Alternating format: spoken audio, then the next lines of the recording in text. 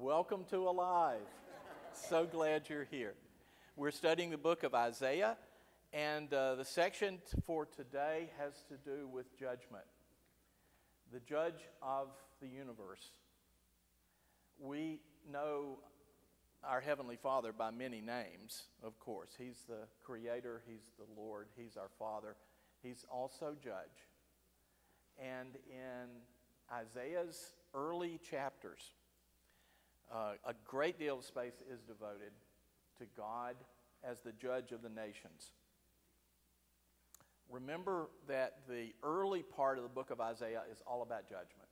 First 39 chapters of the 66 are about judgment. And then the emphasis shifts to comfort, restoration, and God's plans for the future. But these early chapters are heavy chapters that deal with God's righteous judgment. He will judge the nations, Isaiah said. And in fact, he's already begun. Uh, may help to just get a little geography in our mind. We, we don't think about geography a lot, do we?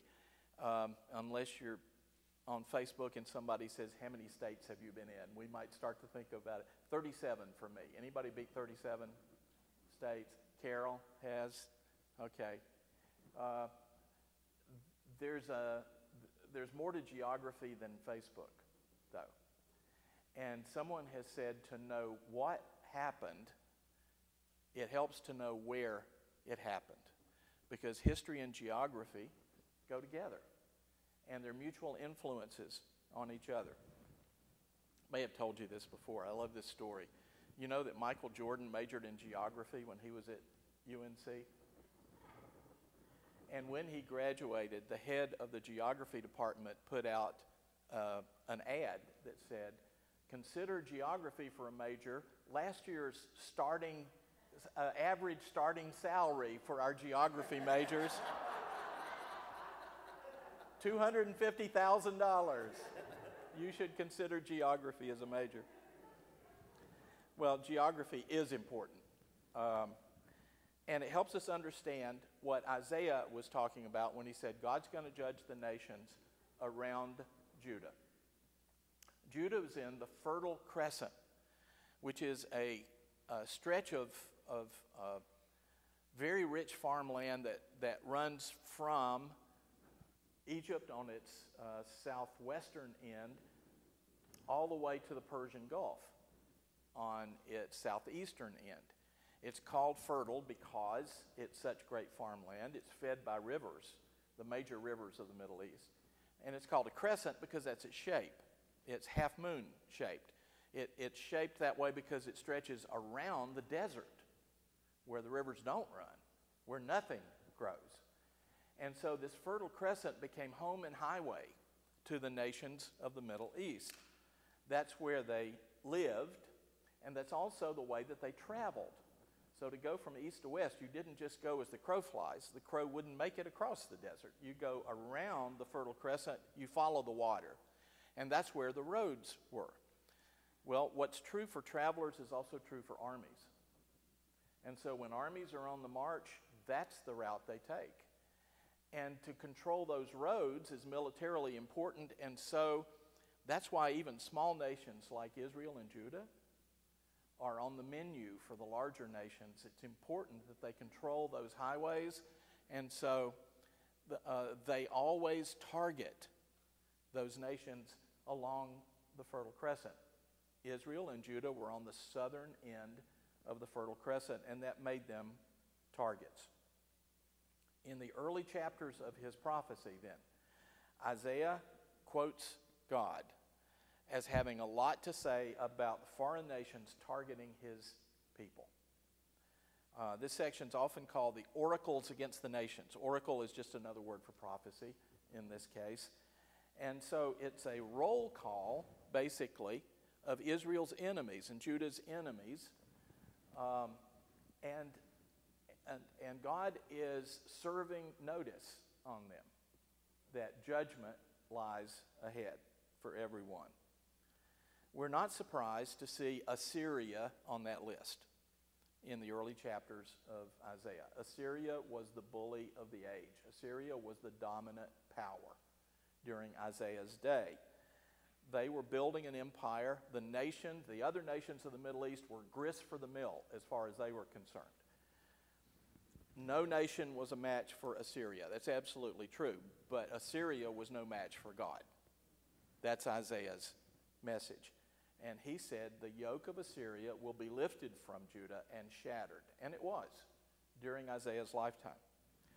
But these chapters don't just deal with Assyria, they deal with other nations as well. Oracles of the Nations goes on to talk about Phoenicia or modern Lebanon, uh, Philistia, uh, the, the land of the Philistines in um, uh, uh, Jewish history all through the Old Testament.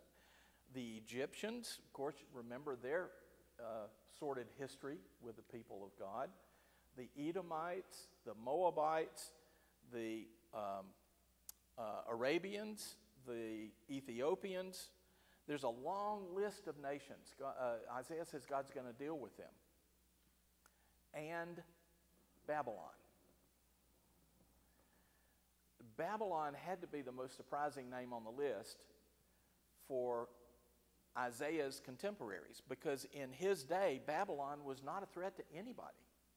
Babylon was on nobody's radar screen. They were under the thumb of Assyria. They were the nation closest to Assyria on that southern end. And uh, nobody worried about Babylon because they weren't even sure that Babylon could survive the domination of Assyria. But Isaiah knew better. Isaiah knew from the Lord that the day would come when not Assyria, but Babylon would be the greatest threat that Judah would ever face. And so in chapters 13 and 14, and again in chapter 21, Isaiah devotes a lot of space to God's message to Babylon. Uh, here's what he says in chapter 13 Babylon's going to become a ghost town. Babylon, the jewel of kingdoms, the glory of the Babylonians' pride. And remember, all of this is prophetic. It wasn't true at the time Isaiah wrote it. There was no glory in Babylon, but he knew it was coming. That glory will be overthrown by God like Sodom and Gomorrah. She will never be inhabited or lived through in all generations. No Arab will pitch his tent there, no shepherd will rest his flocks there, but desert creatures will be there. Jackals will fill her houses. There the owls will dwell, and there the wild goats will leap about. Hyenas will howl in her strongholds. And that's exactly what happened. Long after Isaiah had lived and died, Babylon came to power. Babylon defeated Assyria. Babylon began to dominate the world the way Assyria had. Babylon targeted Judah and took her captive. But after the fall of Babylon in 539, and that's recorded in the book of Daniel, we'll get to that more in, uh, later in this passage in Isaiah, the city never rose again. It did become a ghost town. Now, the, the nation of Babylonia is modern Iraq. But the city of Babylon, that was its capital, the grandest city of the world in its day, is just a ruin now. And it has been since biblical times. What did Isaiah said, say? It's going to be inhabited by jackals and hyenas. Uh, Saddam Hussein decided that he would rebuild the city of Babylon. And it would be kind of like his version of colonial Williamsburg. It would be a restoration of all the glory of Babylon because he thought that would reflect well on him and on Iraq. Where is Saddam today? And where is his plan for rebuilding Babylon? It's a ruin, and not even uh, the, the uh, historical tourist industry visits Babylon, and they visit all sorts of ruins all through the Middle East and the Mediterranean area, but not Babylon. God's promise came true. It's a ghost town. In chapter 14, Isaiah records a taunt against the king of Babylon. Uh, a taunt is like trash talk uh, in a, in a sports arena. Um, God is insulting the king of Assyria. I'm sorry, king of Babylon. And what he says in that chapter is uh, the king will try to establish his throne in the heavens. He'll try to compete with God, but he will be cast down out of heaven. If that sounds familiar, it's because Jesus used those same words about Satan later in the New Testament. Chapter 21 is where our text begins today, and it continues the words of uh, prophecy from Isaiah against Babylon. Chapter 21, beginning at verse 1. A prophecy against the desert by the sea. Like whirlwind sweeping through the southland, an invader comes from the desert, from a land of terror. A dire vision has been shown to me. The traitor betrays, the looter takes loot. Elam attack. Media, lay siege. I will bring an end to all the groaning she, Babylon, has caused. A desert by the sea. That's a paradox. Because if you're by a sea, you're not a desert, typically, right? Uh, uh, uh, the, the desert area is a desert because of the absence of, of fresh water. And yet here is, uh, is Babylon that has flourished because it's in that fertile crescent fed by the rivers. Uh, the river Euphrates ran through the middle of the city of Babylon. Under the city walls, th- the main street in Babylon was, was like Venice. It's traversed by boats and not, not by uh, carts and foot traffic. Uh, the Euphrates ran through the city, providing fresh water. There were canals everywhere off the uh, Euphrates to, to uh, provide water for the farmlands. And then just a few miles away was the Persian Gulf itself. There is, there is, uh, there's no reason to call it a desert by the sea. It is, it's near the desert, but Babylon itself was very fertile. God called it a desert because He said that's what it's going to be when I destroy it. It's going to be as desolate and forsaken as the desert areas around it. It's going to be home for jackals and hyenas, as he said before. Listen to that verse 5. They set the tables, they spread the rugs, they eat, they drink. Get up, you officers, oil the shields. Now remember, Isaiah is prophesying about the future when when the third rate Babylon of his day is going to become the world ruler. And he says that Babylon's going to fall when they set the tables, spread the rugs, eat and drink. Daniel chapter 5. Belshazzar, the king of Babylon, throws a feast. And to insult the God of Israel, he brings the vessels from the temple into his palace and uses them instead of his own vessels, uses them for a night of feasting and rioting, uh, riotous behavior.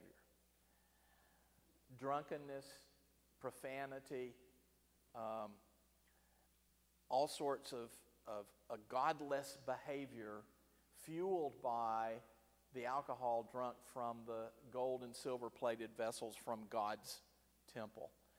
That's Belshazzar's idea of an insult. But you remember how chapter 5 continues? In the middle of all this revelry, he sees a disembodied hand writing on the wall. And it says, You've been weighed in the balances and found wanting. Your kingdom is required of you. And then the next verse in Daniel, after Daniel translates that for Belshazzar, the next verse says, That night was Belshazzar, king of the Babylonians, slain. What happened that night was that the Persians, that included allies from Elam and Media, who are mentioned in this verse in Isaiah, the Persians infiltrated the defenses of Babylon during the riotous behavior at that banquet when everybody was in his cups. Uh, they sent a, a, a pre uh, modern era version of Navy SEALs under the walls of the city uh, by swimming the Euphrates. And they came up on the other side to find the city unguarded, and they opened the gates. the army poured in, Babylon fell in the night. A night when the tables were set, the rugs were spread, and they were eating and drinking. This is one of those incredible prophecies from Isaiah that is detailed in its accuracy about the way that God is going to judge Babylon. Uh, these oracles against the nations are a reminder to us that God is not watching idly by, but He is active in our world. He is at work still among us, and not just waiting for Judgment Day, but God is influencing events in our world even now. One of the primary forms of religion in um, John Wesley's day was called deism. And deism started off by saying there is a God, but then they continued by saying, but he has nothing to do with this world. He's not interested in it. He created it and then left it alone. Uh, he created it to run by natural order, you know, the laws of nature, and then God's busy somewhere else. He has nothing to do with this world. That's far from true. God is intimately involved in the world that He created, and the uh, fall of Babylon is evidence of that. Still in our lesson in chapter 21, verse 9 says, Look, here comes a man in a chariot with a team of horses, and he gives back the answer Babylon has fallen, has fallen. All the images of its gods lie shattered on the ground. Now, if that verse sounds familiar, it may be because John reports in the book of Revelation that someone has shouted, Fallen, fallen is Babylon the Great. Revelation echoes the prophecy of Isaiah. Now, John wrote that hundreds of years after the fall of Babylon. So, why was it news in John's day that Babylon has fallen, or in John's prediction of the future that Babylon has fallen? Because Babylon had become, by John's day, a symbol. It was a symbol of all the ungodly nations of the world. Babylon was a symbol of Satan's ungodly rule in the world that would fall before God in the last days. And isn't it interesting that that imagery of Babylon was resurrected to say, Rome, the new Babylon, cannot stand before God. No new Babylon can stand before God. The Nazi powers in World War II couldn't stand before God. Do you think God influenced the outcome of World War II? I do. I'm convinced that he did. Do you think God had a hand in the, the fall of communism in the 1980s? I think he did. I believe God is still judging the nations and, and working righteousness for his people. Uh, I have no idea what the future is going to hold. I don't know who the next enemies of peace will be. There are a lot of candidates out there. But I do know that God is in control, and Isaiah's message is his plans will prevail on the world scene. Um, sometimes people think that, that Christians are just too heavenly minded to be any earthly good. but but we're called to make a difference in this world. And the, and the example that we follow is the example of God Himself because He makes a difference in this world. God is not just waiting to the end to say, well, you'll all get it then. But His hand is in world affairs as situations develop, as nations rise and fall. I'm not saying everything that happens is a direct result of the action of God. But I'm saying the broad sweep of history is still under God's control, and He chooses to exert His influence. So, part of the message in this chapter in Isaiah is God's going to judge the nations. But part of it is God's going to judge His own people it's clear that God has been taking names and he is settling accounts with these nations. The nations I named to you a while ago circle Israel and Judah. Uh, now, the Mediterranean Sea is on their west, but the north and the east and the south, that's where those enemy nations came from. So they were just surrounding God's people. And God said, I'm going to bring judgment on them. But then he also said, I'm going to judge my people for their sin too. Being the people of God is not an exemption from the responsibility to be obedient to God and follow God's direction. Uh, you may recall a few weeks ago we started our study, 1st of December, with Isaiah chapter 1, a chapter that Bible scholars have called the Great Arraignment where God calls people into court and says, I'm, I'm uh, calling uh, witnesses against you. Heaven and earth will be the witnesses against you that you've broken the covenant. That was God's people. That's not Assyria. It's not Babylon. It's not any of those other nations. That's Judah. And God said, I'm going to judge your sin as well. That's why Judah went into captivity in Babylon, was God's judgment on their sin at the time. God will judge sin wherever he finds it, including among his own people. I can't forget what Ruth Graham said one time, Billy Graham's wife.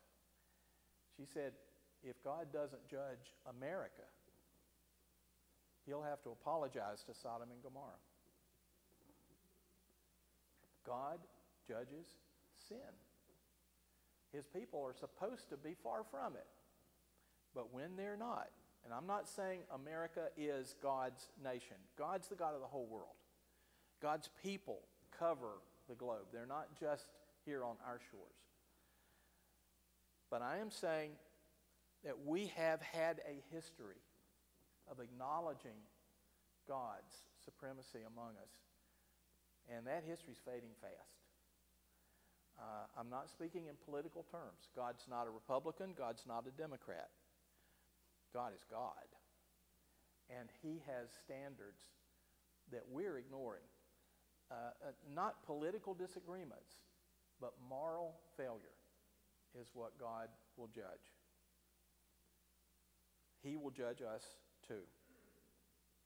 Now, this whole section is not about Judgment Day. On Judgment Day, we'll stand before the great white throne of God, and each individual will give an account of the life that we have lived. No, not really the life that we have lived, of our relationship to the Lord that has determined the outcome of the life that we live. Because it's not our works and it's not in our efforts, but it's in His grace that salvation lies. Hebrews 9:27 For it's appointed unto man once to die, and after that the judgment. Romans 14:10, we will all stand before God's judgment seat. But don't get burdened by those verses without also reading Romans 8:1. There is therefore now no condemnation to those who are in Christ Jesus. When we stand before the judgment bar of God, he doesn't see us. He sees the blood that covers us. and the salvation that we enjoy is not of our doing, it's the gift of God through his Son, Jesus Christ. Our sin is real, but it's been judged already if we are under the blood. It was judged on the cross. Well, there's one more verse in our lesson today, and it's a little out of place, I think. It's, it's Isaiah 2 4. It's about judgment, but it's not about the same kind of judgment. So I want to close with this instead of beginning with it. Isaiah 2 4, he will judge between the nations and settle disputes for many peoples. They will beat their swords into plowshares and their spears into pruning hooks. Nation will not take up sword against nation, nor will they train for war anymore. The verse so nice, the Bible quotes it twice because this is also almost word for word in Micah chapter 4. Isaiah chapter 2 and Micah chapter 4 have the same verse in them. Now, we don't know who originated the verse and who borrowed the verse, but this is in a day before there was any such thing as plagiarism, and so the intent was not to pretend authorship of something that the other didn't write. This is actually a compliment in saying, it's been said better than I can say it. Either Isaiah quoted Micah or Micah quoted Isaiah. They were contemporaries, they lived at the same time. But this is a famous verse, isn't it? If you go to New York on Peace, the Plaza of Peace across from the United Nations, it's carved on a wall. Isaiah chapter 2, verse 4. There's a statue at the United Nations. Curiously enough, paid for by Russia. There's a statue at the United Nations of a man beating his swords into plowshares. This is the universal desire for peace. This is the cry of the human heart for peace. And God said, The day is coming when I won't have to judge sin anymore. The day is coming when my judgment, in quotes, can be the simple settlement of honest disputes between nations. Where should the boundary be? It should be here. Yes, sir. Instead of people going to war over it. Um, the, uh, you know that, that being right with God doesn't mean that we're right about everything else. You and I might disagree on something. We might need somebody to help us settle a dispute, but what the attitude of the heart is, is the key in that matter. And so God here is being a judge, kind of like in the book of Judges earlier in the Old Testament. He is not bringing them to a judgment of destruction. He is bringing a judgment like a mediator or an arbitrator to settle disputes, keyword, peacefully. Because there is coming a day of peace. The millennium is a righteous reign of peace that leads to eternity and peace with God. In the 1950s, there was a Jewish rabbi named Joshua Liebman who wrote a bestseller. It was called Peace of Mind. And it introduced many people to psychoanalysis. It was a bestseller, New York Times bestseller list for a long time. Billy Graham read that book. And then he wrote his own book. It wasn't called Peace of Mind, it was called Peace with God it became a bigger bestseller. It had better answers. We are looking for peace. And peace doesn't originate with you or with me, it originates with God and our willingness to let Him rule in our lives. One day, Isaiah 2 4 says, nations won't be stockpiling weapons, nuclear or other. One day, there won't be war, there will be universal peace.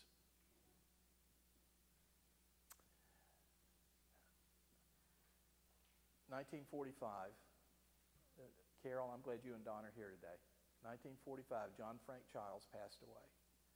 John Frank Childs was the president of what's now Southern Wesleyan University, one of its best presidents ever. Greatly loved. He had helped lead the college through the Depression, he had helped lead the college through the Second World War. He was a member of this church when it was located on the campus and he's Carol's uncle.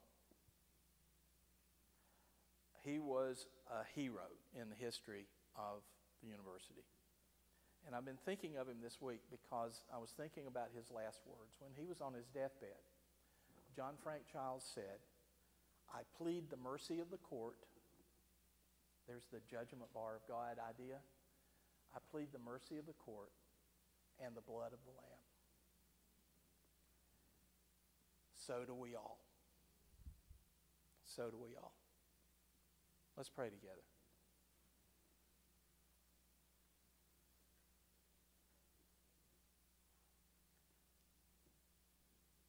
Lord, we long for peace.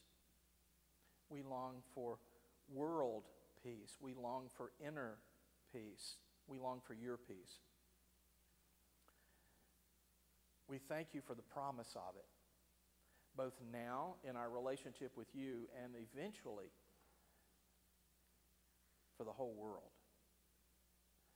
May we be true to you so that we don't have to be one of those nations on whom you bring judgment. That we don't have to be the people who experience the judgment of God in a negative sense, but that we can hear on that great day of judgment, Welcome home. Well done, good and faithful servants. Enter into the joy of your Lord. That's our prayer. By your grace and with your help, may we live that spirit now. In Christ's name, amen.